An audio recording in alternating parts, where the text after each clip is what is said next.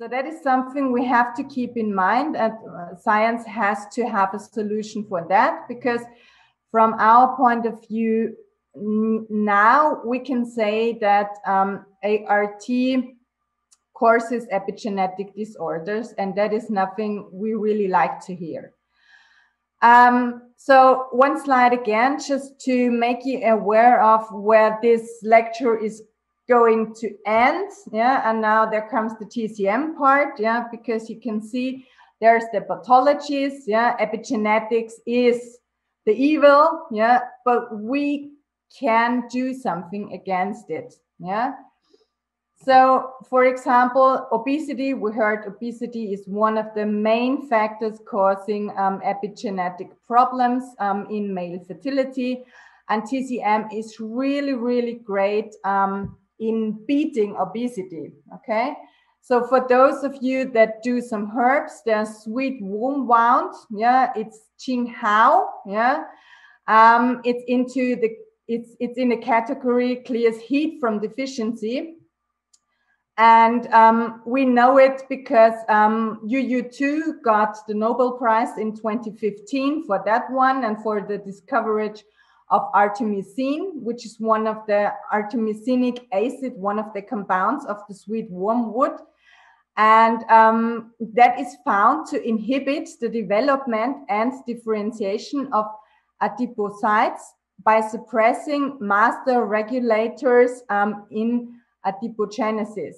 Okay, so that one can hinder the system in developing new um, fat cells, yeah, which would be good. Next one is turmeric in the metabolic aspect in adipocytes again. Um, it uh, there are consistent reports indicating that uh, curcumin suppresses adipocyte differentiation by affecting classic um, regulators of adipogenesis. Okay. Next one is Huanglian Coptis uh, chinensis, um, which is in the category clears heat, dries dampness. Um, and its um, component is berberine. And that is a potential drug in the treatment of type 2 diabetes and hyperlipidemia. Then we have the chili pepper, um, and that um, contains capsaicin, um, and that is a classical um, TRPV1 agonist, and that has been shown in humans and in rodents to increase satiety uh, and to reduce food intake, to increase the sympathetic nervous system activity, and not surprisingly, enhance lipid metabolism. So that is good to have um, with you in your diet or in your prescription. Yeah. The next one is Lei Gong Teng. Yeah. Uh, the uh, trip, Tripterygium um, wilfordii. Um, and that contains um, celastrol, and celastrol functions as a leptin sensitizer to reduce your food intake. And the uh, ginseng contains the ginzenoids, and there are numerous studies um, that have demonstrated that the ginzenoids are effective in preventing obesity, hyperlipidemia, and hyperglycemia. Okay, so that's just one aspect yeah, that I wanted to point out um, that herbs really do well in the treatment of um, obesity. Yeah, but of course you can work with acupuncture. Um, personally, I treat um, obesity a lot with ear acupuncture. That's French ear acupuncture you see here.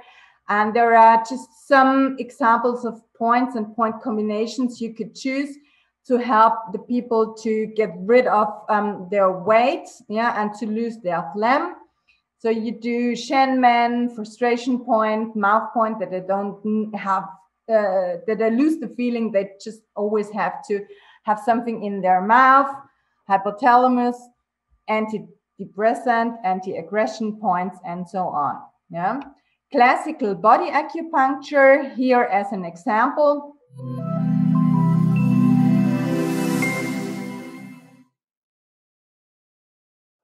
I, you know, I went to major journals and no one wanted this paper. They said, we already know this. This is a, this is, this is sort of accepted fact.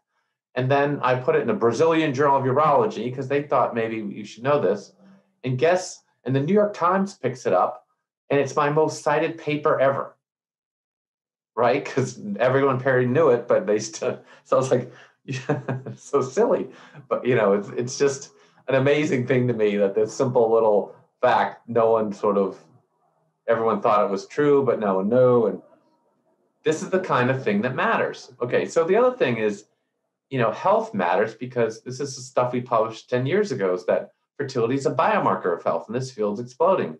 So when you say, let's go to IVF and you don't evaluate the male, you're missing a lot, a lot because their infertile men, the comorbidity their comorbidities are higher than fertile men. So there's a lot going on with these guys.